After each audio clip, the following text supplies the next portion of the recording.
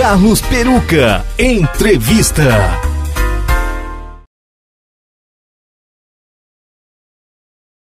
Programa especial, programa ponto a ponto de hoje com o vereador de Carpina, Diogo Prado. Diogo, as notícias correm rápidas e os acontecimentos de hoje pela manhã lhe pegou de surpresa. Como é que você encara? O presidente Bila já se pronunciou aí na rede social que você, a partir de agora, é ex-vereador. Como você fala para os internautas? Pois é, Peruca, você e todos que nos acompanham, todos os internautas aqui no Ponto a Ponto, é uma satisfação mais uma vez estar conversando com todos vocês por um momento não é, onde nós estamos passando de discussão ainda é, da permanência do mandato de vereador. Na verdade, desde ontem, segunda-feira, dia 12, houve um movimento muito grande na Câmara para que acelerasse uma decisão que aconteceu no Tribunal Regional Eleitoral para que houvesse a minha saída imediata do mandato e a imediata convocação do primeiro suplente para assumir o cargo de vereador, mandato de vereador. Ontem, por volta de, das 13 horas, né, final do expediente na Câmara, um assessor meu foi convocado com urgência para ir para o gabinete do presidente Bila, aonde eles queriam que esse assessor meu assinasse o comunicado a todo custo, né, dando conta do meu imediato afastamento. E aí o meu assessor entrou em contato com a nossa assessoria jurídica e nós fomos orientados a não, assumir, a não é, assinar esse documento, porque ainda não houve o comunicado formal do TRE, que é o Tribunal Regional Eleitoral, dando ciência à Câmara né, de que eu havia perdido o mandato por infidelidade partidária e que eu deveria ser afastado. Então, até que haja esse comunicado formal, na Câmara não deveria encaminhar esse processo, como não encaminhou desde a decisão que aconteceu no último dia 24. Então, o que a gente observou foi que houve uma, um movimento muito intenso para que essa decisão fosse cumprida de imediato. Nós nos recusamos a assinar esse documento na segunda-feira. Hoje, na terça-feira, o doutor Emiliano, o advogado da Câmara, insistiu na, na, na entrega desse documento e aí nossos advogados fazendo o mesmo questionamento, a gente ainda é, entende que não há base legal para haver esse comunicado do nosso desligamento. A Câmara insiste em já me proibir de estar presente hoje à noite, na sessão da, da terça-noite, né, mas nós vamos recorrer a todas as esferas judiciais para que a gente garanta o direito de exercício do mandato. Amanhã, quarta-feira, seria uma data que seria julgado o direito de você recorrer no mandato ou não. Pois é, exatamente isso. Amanhã, na quarta-feira, nós estamos com um recurso em pauta no TRE haverá um novo julgamento quanto ao meu afastamento imediato ou não da Câmara, né? mas mesmo assim o presidente Bila, né, que teria prazo até para fazer essa convocação, ele está querendo a todo custo fazer hoje esse comunicado, mesmo sabendo que amanhã esse assunto será pauta do TRE. Só para que o internauta tenha conhecimento, a partir do momento que a Câmara for comunicada oficialmente, formalmente, por ofício, do meu afastamento, afastamento, a Câmara ainda teria 10 dias para fazer esse comunicado de afastamento. Mas há um interesse da mesa diretora de que esse afastamento seja de imediato, me impedindo, inclusive, de participar da sessão hoje à noite. Uma clara demonstração de intenção política nesse afastamento. Essa pressão que você fala, Diogo, que, que vem de fora, de, de fora da Câmara para dentro, você já tem ideia de onde vem essa pressão? Olha, eu não tenho dúvida, Peruca, que o prefeito Manuel Botafogo sempre teve muita influência nas decisões da Câmara. E a gente tem acompanhado que o prefeito está muito interessado nesse meu imediato afastamento. Por motivos óbvios, né? por motivos que é, a, a população carpinense sabe bem. O nosso trabalho de fiscalização tem sido muito combativo. A gente tem acompanhado muito de perto a gestão do prefeito Manuel Botafogo denunciado, criticado o que está errado.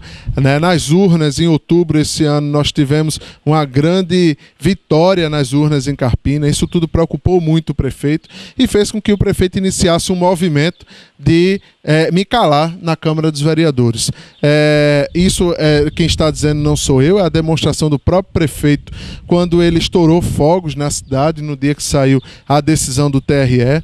O fato é que para hoje à noite eu já tinha protocolado alguns requerimentos que denuncia é, esquema de roubo do dinheiro público da prefeitura e aí há uma clara intenção da prefeitura de tirar esses requerimentos de pauta, de tirar essa discussão da Câmara, né, para que mais uma vez a gente não consiga trazer denúncias para a Câmara para combater os erros dessa gestão fora do mandato, é, você vai continuar fiscalizando, trabalhando pela cidade de Carpina. A gente está vendo uma grande é, movimentação na rede social ao seu favor, muitas pessoas revoltadas com o que acontece por essa infidelidade partidária. Como você fala aos internautas, qual será a sua posição fora do mandato? Olha, a minha posição será ainda mais é, independente, ainda mais determinado de combater aquilo que eu acredito que precisa ser combatido. Né? Inclusive, essa denúncia que eu ia fazer hoje à noite na Câmara, caso eu não consiga estar presente por força dessa decisão da presidência da Câmara, eu vou protocolar no Tribunal de Contas. É um, um caso grave de desvio de recurso público. Para que todos os internautas tenham conhecimento, eu tive acesso a recibos que comprovam que o netário, que é o encarregado do setor de tributos da gestão do prefeito Manuel Botafogo, recebeu dinheiro em espécie no seu gabinete. Esse valor passa de 10 mil reais. E aí o que eu pedi ao netário é que ele mandasse a comprovação de depósito desse dinheiro na conta do município. Essa comprovação nunca apareceu. A gente tem a certeza de que não há esse depósito na conta do município e a gente sabe que só o fato de ter recebido esse dinheiro em espécie já comprova um ato de improbidade administrativa, já comprova um ato falho da gestão que pode inclusive afastar o prefeito Manuel Botafogo do mandato de vereador, de prefeito, desculpem. Né? Todos nós sabemos que quando se paga um tributo uma taxa no município, a forma correta de se pagar é através de um DAN, que é um documento de arrecadação municipal. Então, os cemitérios de Carpina era para estar emitindo esse documento e o cidadão ir no banco fazer esse pagamento para cair direto na conta da prefeitura. Mas a forma que o prefeito Manuel Botafogo está fazendo é pegar esse dinheiro em espécie no próprio cemitério, emitir um recibo sem nenhum valor contábil para a prefeitura. Esse dinheiro é repassado para a mão do senhor netário e o que nós queremos saber é das mãos do senhor netário para onde vai esse dinheiro. Porque uma coisa a gente já sabe, que para conta do município e para atender as necessidades da cidade e do cidadão, não está indo. Estamos conversando com o Diogo Prado, vereador de Carpina. Essa denúncia você vai fazer ao Tribunal de Contas e à Justiça? Isso, como está sendo feito um movimento para me impedir de apresentar essa denúncia na Câmara, não é? sem dúvida nenhuma, hoje à tarde eu já estou redigindo o, documento que vai ser remetido ao Tribunal de Contas, que vai ser remetido ao Ministério Público, para que sejam tomadas providências é, com relação a esse grande ato de improbidade que está sendo cometido na cidade de Carpina. Diogo Prado, essa semana você postou uma foto ao lado do, do ex-prefeito Joaquim Lapa, confirmando a parceria política. Como vai caminhar essa parceria política? Olha, Peru, que eu tenho como uma característica é, muito forte na minha personalidade, que é ser muito fiel aos meus compromissos, de ser muito fiel à minha palavra, de não voltar atrás daquilo que eu é, me comprometo. E eu tenho um compromisso político né, com o Joaquim Lapa, e ele também tem comigo, para que nós possamos formar um grupo único e esse grupo caminhar por várias eleições em Carpina. Então nós passamos com essa união por, pela eleição de 2018, saímos fortalecidos, saímos vitoriosos de Carpina, tivemos o dobro de votação praticamente do segundo colocado nas eleições e eu entendo que essa parceria e essa união ela tem tudo para caminhar pelas próximas eleições. Então será assim em 2020. O almoço que houve, na verdade, foi no intuito de de se reencontrar, de bater papo, de colocar os assuntos em dias, né? mas foi dado também um destaque de reafirmação de compromissos, até para afastar qualquer outra possibilidade que, que possa circular aí diferente disso. Não há possibilidade nenhuma de Diogo Prado ser candidato a prefeito em 2020 e de Joaquim Lapa ser candidato a prefeito em 2020, um concorrendo contra o outro. Não há essa possibilidade. O que há é uma decisão nossa de se manter unido, firme e de fazer parte ativamente da eleição em 2020 em Carpina. Isso aí é consenso entre nós e foi isso que foi reafirmado nesse almoço que aconteceu no domingo, semana passada. A posição na chapa decide lá na frente. Eu acho que é muito cedo para a gente definir quem é que é prefeito, quem é que é vice, quem é que, que vai ser vereador. Não é? O importante é a gente ter o um entendimento que há uma decisão de um grupo unido, coeso. Não é? Joaquim Lapa tem uma larga história é, política, já foi prefeito três vezes da cidade, não é uma pessoa que naturalmente é candidato para tantas eleições que venham para frente, não é? mas o, o, o, intuito do nosso diálogo agora não é lançar chapa, não é lançar acordos é, fora esse que, que já foi conversado, porque a gente entende que até 2020 tem ainda o tempo necessário para que se discuta isso com calma. Eu costumo dizer às pessoas que eu ainda nem acabei direito o processo de 2018. Foi uma campanha muito intensa, foi uma campanha que exigiu muito de mim como candidato, cumpri todas as formalidades de prestação de contas ainda recentemente, né? e agora a gente precisa de um tempo para respirar, para poder descansar um pouco e pensar nesses novos desafios para frente. A vereadora Manu Lapa ontem ficou inquieta e é, falou que estava fora do grupo, não disse em momento algum que estava com raiva de você, nem que ficaria é, de mal, não, de maneira nenhuma. Só que estava insatisfeita por ser é, detentora de mandato e não ter sido é, é, é, convidado para conversa. Como você fala sobre isso? Como você avalia isso? Conversou com ela já depois disso? É, na verdade, Peruca, eu, eu fiquei surpreso com a decisão da vereadora Manu Lapa circulou pelos blogs, circulou pela imprensa local, a decisão dela de não caminhar mais no grupo de Diogo Prado e Joaquim Lapa. É, eu entrei em contato com ela após ficar sabendo dessa notícia pela imprensa. Falei por mensagem de WhatsApp, ela me disse que de fato tinha ficado chateada por não ter participado desse almoço no domingo, no dia anterior. Eu expliquei a ela que o almoço do dia anterior foi um encontro meu com o Joaquim Lapa, um, um, um encontro que foi marcado há poucas horas antes do, do, do, evento, do almoço, né? e não foi uma discussão de grupo, não foi uma discussão aberta para participação do grupo, mas um encontro é, particular mesmo, meu com o Joaquim Lapa, e que aquilo não seria motivo para uma tomada de decisão dessa. Ela me dispus a procurá-la, né? disse que procuraria ela ainda no dia de ontem, e ela disse que não tinha abertura para o diálogo e que a decisão dela estava tomada e era irreversível. Então eu fiquei surpreso, respeito a decisão da vereadora Manu Lapa, né? tenho admiração por ela, lamento pelo acontecido, lamento por ter ficado sabendo essas informações através da imprensa, da gente não ter tido a oportunidade de sentar e de conversar. Fiquei surpreso, inclusive, Peruca, porque há duas semanas a vereadora Manu Lapa usou a tribuna da Câmara, fez altos elogios à minha pessoa, me deixou até emocionado, me deixou muito tocado com essa demonstração de apoio dela. É, inclusive com a promessa de caminhar é, por todo o tempo com, conosco. E agora eu percebo de maneira imotivada ter uma decisão dessa. Foi algo que me pegou de surpresa. Mas eu acredito que o tempo é, é, é o, o que é necessário para que se reflita, para que se dê oportunidades para a gente voltar a conversar e caminhar junto. Eu entendo que quem perde com essa decisão da vereadora Manulapa é a população de Carpina, porque se tem um trabalho de fiscalização que foi feito durante essa gestão do prefeito Manuel Botafogo, essa, esse trabalho se deve exclusivamente a união que existia entre nós dois durante esse período.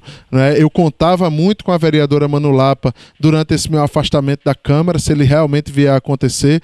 Pensava nela ser uma ponte para poder levar nossas demandas, nossas denúncias, nossas expectativas, mas agora com essa decisão dela, a gente fica sem ter esse amparo que eu julgo que seria importantíssimo para dialogar com a oposição de Carpina. Com essa sua provável saída da Câmara, Diogo, como você avalia? Quem, fa quem, quem faz oposição, que é uma coisa natural, salutar, é, é você, é Manu, é o Rezende. E com essa, com essa sua saída, como você avalia que ficará a Câmara com relação à oposição? Responda daqui um minutinho, a gente volta já já. A Doce Sabor Delicatessen chegou cheia de novidades. Padaria, lanchonete, refeições e o real sabor do pão à sua mesa. A dona do melhor pão francês de Carpina oferece produtos do Rei da Coxinha. E ainda, cartola, chocolate quente, sanduíche, self-service, café da manhã, almoço e à noite, deliciosas sopas. Além de um cappuccino incrível, estacionamento para o seu conforto. Conheça a Doce Sabor Delicatessen. Delivery 3621 5955 Carpina. O programa Ponto a Ponto está com o personal André Nogueira, conhecidíssimo nosso aqui, um grande profissional. André, o que é que você fala para os internautas em geral? Tudo bom, pessoal? Bem, a gente está agora iniciando a partida de dois dias praticamente, o Novembro Azul. Então, vocês, homens, que estão aí escutando, vendo o programa, veja só, é muito importante você cuidar e proteger da sua saúde. Que sentido? Primeiro, a questão da atividade física é muito importante. E logo em seguida, a proteção que você tem que ter pelo câncer de próstata. Para você ter uma ideia, é um dos cânceres que mais mata os homens no Brasil. Temos a doença do AVC em primeiro lugar e depois tem o câncer de próstata. Então é muito importante você, homem, que está aí vendo o programa, se proteger. Tem vários tipos de exames. E também tem a questão você se proteger dessa doença futura. Como? Fazendo exercício físico. A atividade física hoje é um dos caminhos mais importantes na proteção e prevenção para a sua saúde. Seja ela questões de doenças como todo, AVC, problemas circulatórios, como também o câncer de próstata, que nós estamos agora iniciando o nosso Novembro Azul daqui a uns dois dias. Então essa campanha é muito importante. Você que está vendo o programa, vá fazer exercício físico, procure um profissional para poder lhe orientar da melhor forma possível e um profissional que seja formado em educação física. Estou aqui à sua disposição, personal André Nogueira. Vamos lá? Carlos Peruca, entrevista. Estamos de volta no programa Ponto a Ponto especial de hoje com o vereador de Carpina, Diogo Prado, que hoje pela manhã o vereador, presidente da Câmara, gravou uma entrevista no Giro Mata Norte, declarando o vereador, o, o Diogo Prado, ex-vereador de Carpina. E antes da gente ir para o bloco, eu perguntei a Diogo se caso se confirme, como vai ficar, como ele avalia a Câmara de Vereadores. Porque a oposição, que é uma coisa natural e tem que acontecer em todos os governos, é, vai ficar só nas mãos de Rezende e de Manulapa, com a saída de Diogo. Como você avalia a partir de agora a Câmara, Diogo? É, pelo que eu imagino que a oposição ela perde significativamente, é, porque eu acredito que o primeiro suplente, o Marcinho do Pastel, quando ele entrar na Câmara de Vereadores, ele não deve assumir uma posição de oposição e sim de apoio ao governo. Pelo menos é esse o comentário que já circula, até porque o prefeito Manuel Botafogo está fazendo um grande movimento para que ele assuma logo, então talvez já haja até um compromisso para que é, haja um apoio do vereador para com a gestão do prefeito Manuel Botafogo.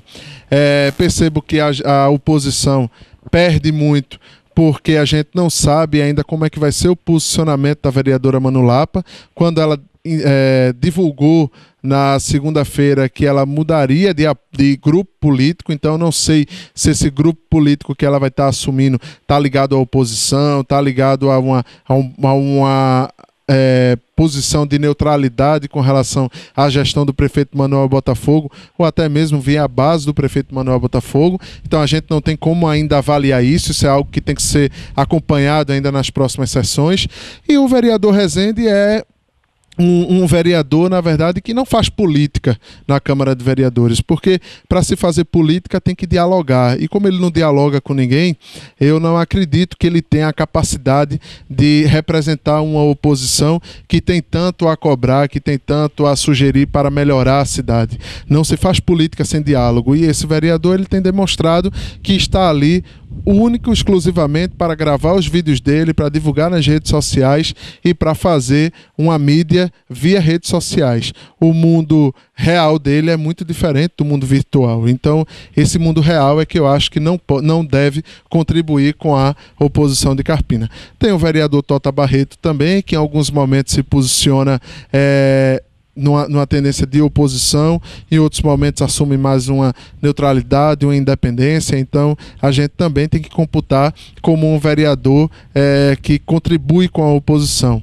Mas o fato é que nós temos que acompanhar as próximas sessões para ver o posicionamento de cada um. Eu só gostaria muito que a população de Carpina não tivesse o desprazer de ter uma Câmara que apenas vai votar requerimentos, balançar a cabeça, concordar com o que o prefeito manda e conduzir a pauta dentro de meia hora, 40 minutos de sessão. Eu acho que isso é muito pouco para uma população que tem tanta expectativa como a população de Carpina. Diogo Prado, os seus requerimentos, o que você denunciou, o que você apresentou, suas reivindicações em prol do povo, como ficam? É, uma coisa que me chama a atenção, Peruca e todos que nos acompanham, é que diante da gravidade da denúncia que a gente fez, né, houve uma pressa muito grande da Câmara de tirar o requerimento de pauta, mas não houve nenhum interesse da mesa diretora da Câmara de me chamar e de dizer, vereador, vamos ver aqui essa denúncia, mesmo que você não tenha condições de apresentar, mas vamos formular um ofício aqui, vamos cobrar explicações do prefeito. Me parece que não há nenhum zelo do dinheiro público, me parece que não há nenhuma intenção da, da Câmara de Vereadores de apurar essa denúncia tão grave que a gente está apresentando. A pressa foi única exclusivamente para tirar essa, essa, essa denúncia de pauta né, e fazer com que a população não tome conhecimento da gravidade do que nós estamos falando. Isso é algo que, independente de eu estar na Câmara ou não, eu estarei lutando por uma resposta com relação a isso, estarei muito firme nos meus posicionamentos e como cidadão eu tenho certeza que vou continuar contribuindo muito para uma política transparente, para uma política que seja voltada para as pessoas e que não venha enriquecer ainda mais esse prefeito que não está nem um pouco correspondendo à expectativa das pessoas na cidade. Você com o mandato, você com o mandato é legítimo porque o povo lhe deu. Agora, você fora do mandato não vai fazer diferença a sua oposição e, e o, seu, a, o, o seu posicionamento de fiscalizar a administração. Sem dúvida, como cidadão, eu vou participar das sessões, vou estimular a população também para participar das sessões.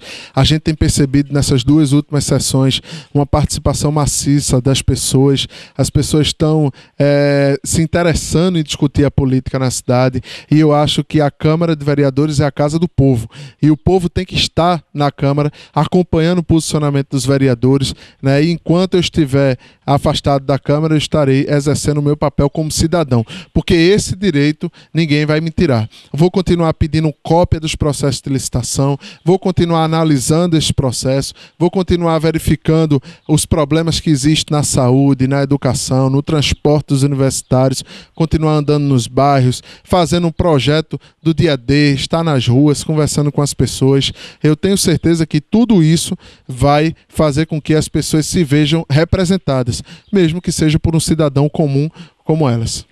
Diogo, nunca foi falado por você. Se, se fala até pela, pela, pelo quadro que se apresenta, pelo quadro político que se apresenta em Pernambuco. Você pode realmente assumir uma cadeira na LEP?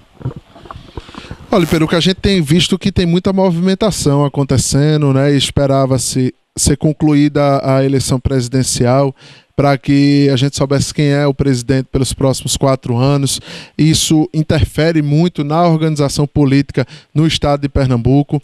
É, o que a gente sabe é que o governador está viajando, está é, de férias, numa curta férias, deve voltar nos próximos dias e aí deve ser acelerada essa discussão de, do, da nova composição do governo. E a gente sabe que nessa nova composição é normal que se chame alguns deputados, que se chame algumas pessoas que fizeram parte da campanha desse ano. Não é? Então, nesse, nessa organização abre-se um mar de possibilidades. Então a gente pode dizer hoje que tem possibilidade de assumir o mandato, né, desde que algum deputado eleito vá assumir alguma secretaria ou algum outro é, espaço no governo. A gente pode também é, ver como possibilidades ter um espaço no governo ou continuar tendo essa boa relação no governo.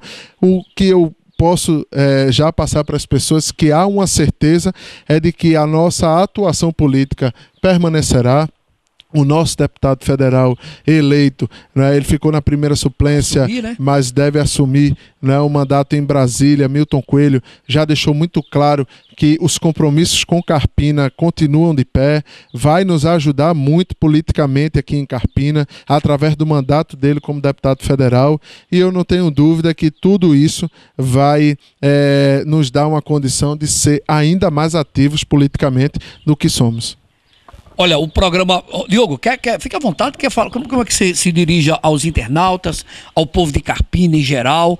A partir de agora, se confirmar você saindo do mandato, mas você continua em Carpina trabalhando firme ao lado da população, que nas redes sociais as manifestações são as mais diversas possíveis, lhe colocando como candidato a prefeito, mas você já explicou que tem um, um, um, um acordo político e um acordo até pessoal, amigo, com a população, com o doutor Joaquim Lapa, e lá na frente é que se vai ver como é que vai se compor essa chapa. Pois é, é, nossos amigos que nos acompanham, eu tenho a passar uma mensagem para as pessoas dizer que, por mais que nós estejamos passando por momentos de muito é, ataque, de muita pressão política, não é? a gente está está muito certo, estou muito certo de que estamos no caminho certo, estamos é, com a certeza de que estamos acumulando vitórias. E essa vitória ela está acontecendo porque há uma ampla aprovação das pessoas na rua, há um desejo muito grande das pessoas de ter um político que represente de fato as pessoas com independência, sem estar dependendo financeiramente da política, sem estar dependendo politicamente de alguns atores políticos que se repetem sempre naquele velho formato de fazer política. Eu tenho certeza que o passar dos anos da minha atuação política vai mostrar sempre a minha coerência, a minha, é, é, o meu posicionamento sempre muito é, condizente com a minha fala, com as minhas atitudes. E é assim que a gente vai permanecer durante esses próximos anos na nossa atuação política aqui em Carpina. Lutarei pelo meu mandato de vereador. Entendo que há vários recursos ainda a serem é, atingidos. A gente pode fazer comparações muito claras para que o, o ouvinte possa fazer uma comparação do tratamento que está sendo dado a mim na Câmara, quando a gente pode colocar como exemplo, não é um fato recente na Câmara de Vereadores, onde nós tivemos uma cadeira vazia por meses, aonde o titular estava brigando na justiça pelo direito de voltar ao seu mandato. Não foi convocado nenhum suplente, não foi é, dado nenhum tratamento com a urgência que estão querendo dar ao meu afastamento na Câmara. Então, a gente entende que a justiça demora um pouco a julgar, a chegar ao seu posicionamento, mas eu acredito que a justiça será justa, como sempre foi todas as vezes que nós recorremos a ela. E eu entendo que é legítimo a, a manutenção do mandato. Fui eleito pelas pessoas que votaram em mim, pelas pessoas que apoiam o nosso trabalho e não por um partido que nunca nos deu atenção, que nunca nos apoiou politicamente e agora está se vendo o dono da verdade o dono do mandato. Então, vamos aguardar e ver os desdobramentos, mas eu estarei sempre à disposição da população que é, depende muito do nosso trabalho, da nossa atuação política. O programa Ponto a Ponto especial de hoje com o vereador de Carpina, Diogo Prado, a quem a gente agradece e deseja muita sorte, luta e força e coragem ele tem de sobra para continuar trabalhando pela região, por Carpina, sobretudo. Agradecer ao nosso cinegrafista Tel e a você, internauta. Diogo, um abraço, que Deus continue lhe protegendo e lhe conservando com essa coragem e dedicação ao povo de Carpina. Obrigado, obrigado, amigos, e estou sempre à disposição. Em breve voltaremos. Um abraço. Olha, estamos na José Otávio, bem frente ao Empório Central. Olha o número do telefone: 36210676.